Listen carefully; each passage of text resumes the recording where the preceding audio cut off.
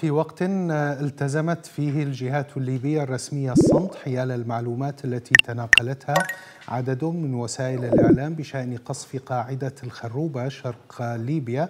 أكدت مصادر متعددة أن قصفا جويا شنته طائرات مسيرة مجهولة ليلة الجمعة استهدف قاعدة جوية شرقي ليبيا ينتشر فيها عناصر من مجموعة فاغنر الروسية. وكان موقع عربي 21 نقل عن مصدر ليبي أن القوات التي آه، تتبع لحكومة آه، الوحدة الوطنية في طرابلس هي من نفذت الضربات بمسيرات من صناعة تركية. ولجأ خليفة حفتر إلى مقاتلين تشاديين وسودانيين ونيجيريين وسوريين وكذلك إلى عناصر من فاغنر في محاولته السابقة للسيطرة على العاصمة الليبية طرابلس. مشاهدينا للمزيد أرحب بضيفي هنا في الاستوديو دكتور جمعة القماطي رئيس حزب التغيير في ليبيا. أرحب بك دكتور جمعة. يبدو أن الضربات التي استهدفت قاعدة في الشرق الليبي تتبع لفاغنر يبدو أنها مؤكدة ولكن من نفذها غير معلوم؟ ما المعلومات التي لديك؟ نعم بداية كل عام وأنتم بخير أستاذ زياد وكل المشاهدين الكرام. وأنتم بخير. آه كل المعلومات والتقارير منذ البارحة تؤكد أنه كانت هناك ضربة آه جوية قوية لقاعدة الخروبة التي تقع جنوب شرق آه مدينة بنغازي وشرق مدينة المرج. 80 كيلومتر جنوب شرق بنغازي. أهالي مدينة المرج القريبون جدا من القاعدة أكدوا سماع ضربات قوية ومدوية. ولكن السؤال هو من الذي قام ونفذ هذه الضربات الجوية التي استهدفت قوات الفاغنر الروسية هناك أو مرتزقة الفاغنر هناك؟ آه، حكومة الوحدة الوطنية نفت في تصريح رسمي أنها وراء هذا الهجوم آه، لأنه هناك اتفاق لوقف إطلاق النار آه، بين حكومة الوحدة الوطنية وبين قوات حفتر. هذا الاتفاق وقع في نوفمبر 2020 قبل حوالي أقل من ثلاث سنوات ولا بد من الالتزام بهذا الاتفاق. وبالتالي حكومة الوحدة الوطنية لن تقدم على أي خطوة أحادية الجانب للتصعيد العسكري. آه، لأن هذا سيعرقل محاولات الحلول السلمية والسياسية والتوافق آه و... إذا من يمكن أن يكون نفذ هذه الضربة؟ على الأغلب على الأغلب وكل التقارير تشير على أن ربما آه الأفريكوم الأمريكية هي التي كانت وراء هذا الهجوم ولكن لا تريد أن تؤكد ذلك رسميا أو تعترف بذلك رسميا آه، نحن نعلم أن أمريكا منزعجة جدا من تواجد الفاغنر في أفريقيا منذ 2017 نعم. دخلوا نعم. إلى ليبيا اولا أكثر من 3000 مرتزق آه، روسي من الفاغنر ثم انتشروا من ليبيا جنوبا في تشاد ومالي وأفريقيا الوسطى والسودان طبعا وفي الأشهر الأخيرة أصبحت الفاغنر آه، تشارك في الصراع في السودان منحازة إلى إلى آه، حميدتي وتدخلت في وحميدتي يستخدم الفاغنر في إدارة مناجم الذهب نعم. وغيرها وبالتالي آه، تشكل الفاغنر عامل إزعاج كبير لأمريكا ولحلف الناتو أعتقد أن الفترة الأخيرة الصراع الذي حدث داخل روسيا ما بين بوتين والفاغنر وتدخل الفاغنر في حرب أوكرانيا ووجودها في أكثر من دولة أخرى ربما ترى أمريكا ومن وراءها في حلف الناتو أن هذا الوقت هو وقت مناسب جدا وفرصة ذهبية لمحاولة آه، آه، الضغط على فاغنر وإخراجهم من ليبيا وربما إخراجهم من أفريقيا كذلك. لأن نفوذ الفا... نفوذ الفاغنر في ليبيا وأفريقيا يهدد آه، المصالح الغربية ومصالح الناتو. طبعا بطبيعة الحال أولا وأخيرا يهدد الاستقرار داخل ليبيا ويعرقل فرص الوصول إلى حل سياسي وإلى أن تستقر ليبيا سياسيا وأمنيا. نحن في ليبيا منزعجون جدا من وجود الفاغنر ومن وجود كل أنواع المرتزقة الذين جاءوا من دول أخرى أفريقية وقاتلوا إلى جانب حفتر وشاركوا في الهجوم على العاصمة طرابلس في 2019 للأسف هؤلاء المرتزقة جميعا سواء كانت الفاغنر أو, أو من دول أفريقية أخرى تقوم بتمويلهم وجلبهم بعض الدول العربية وعلى رأسها دولة الإمارات.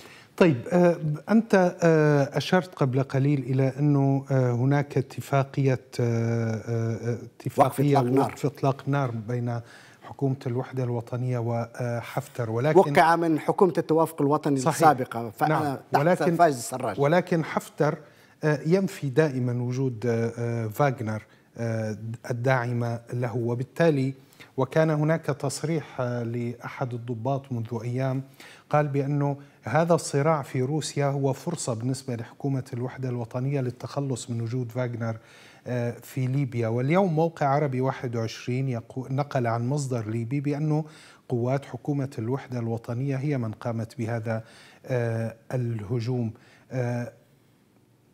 حتى لو أعلنت حكومة الوحدة بأنها من قامت بهذا الهجوم. هذا لا يعتبر انتهاكا للاتفاقية مع حفتر. وبالتالي هناك علامات استفهام حول هذه العملية حتى أنت تقول بأنها ربما تكون من قبل أفريكوم. هل انتبهت اليوم الولايات المتحدة بأنه فاغنر موجودة في الشرق الليبي؟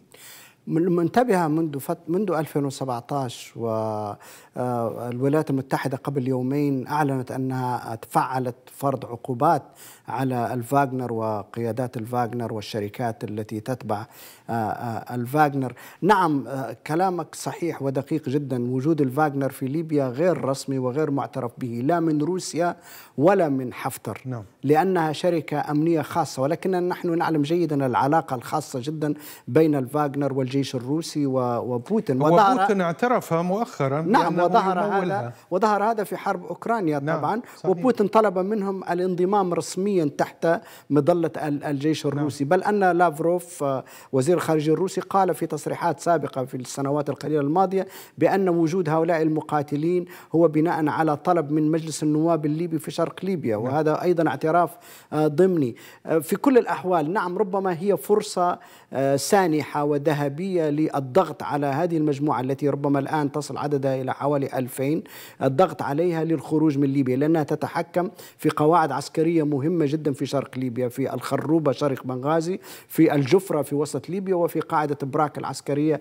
في الجنوب. وأصبحت خارج سيطرة حتى حفتر ومن معه لأنها يعني تتصرف بحرية كاملة وباستقلالية كاملة داخل ليبيا وتخرج من ليبيا إلى دول أخرى أفريقية مجاورة وتفعل ما تشاء. وبالتالي وجود هذه هؤلاء المرتزقة خطر جدا على ليبيا إلى جانب مرتزقة آخرين وإخراجهم هو في مصلحة ليبيا بالدرجة الأولى. ولكن أيضا لا ننسى أن أمريكا والناتو في صراعهم الأوسع العالمي مع روسيا أيضا يدخل هذا في إطاره يعني الآن الحرب في أوكرانيا ومشاركة الفاغنر ضد ضد دولة أوكرانيا وأيضا وجودهم في أفريقيا يهدد مصالح أمريكا والغرب. وبالتالي ربما يرون أنها فرصة مناسبة الآن بسبب التشتت الموجود داخل روسيا والعلاقة المتوترة ما بين الفاغنر وبوتين والجيش الروسي ربما الفرصة سانحة للضغط عليهم وطردهم. في كل الأحوال يعني إخراجهم من ليبيا أمر مهم وملح وعامل أساسي في تحقيق الاستقرار وفي وصول إلى توافقات أمنية وعسكرية وسياسية داخل ليبيا. فهذه الضربات الآن لو تستمر ربما ستأتي بنتائج جيدة وربما روسيا ستكون منشغلة جدا ولن تستطيع نجدة أو إنقاذ هؤلاء المرتزقة في ليبيا. وربما قيادة الفاغنر نفسها الآن مشتتة بعد أن ذهب بريغوزين إلى إلى بيلاروسيا. وربما هناك تشتت في إدارة وقيادة مرتزقة الفاغنر كذلك. ففي كل الأحوال أيا كان مصدر الضربات أو من وراءها الفرصة والوقت ثمين ومهم. وجيد للضغط على هذه المجموعة وإخراجها من ليبيا. يعني بوجود باستمرار وجود حفتر وانفصاله في الشرق يبدأ يبقى هو الخطر الأكبر. ولكن ولا ننسى أن الفاغنر هي عامل قوة لحفتر. نعم. يعتمد عليها بنسبة كبيرة جدا وبالتالي إخراجها من ليبيا سيجرد سيجرد حفتر من عامل قوة عسكرية مهم جدا وسيلغمه على التوافق وعلى القبول بالشراكة مع الليبيين وأنه لن يستطيع أن ينفرد. بالسيطرة على ليبيا وبحكم ليبيا لوحده طيب. كما يريد هل هل يمكن القول أن, أن هذه العملية ربما تكون بداية لاستهداف فاغنر في المنتشرة في أفريقيا من قبل أفريكوم إذا كانت أفريكوم هي من قامت نعم أعتقد أعتقد ربما نرى ضربات جديدة وربما نرى آه، آه، الولايات المتحدة من خلال أفريكوم ترى أن هذا هو الوقت المناسب للضغط على فاغنر. ربما الولايات المتحدة تريد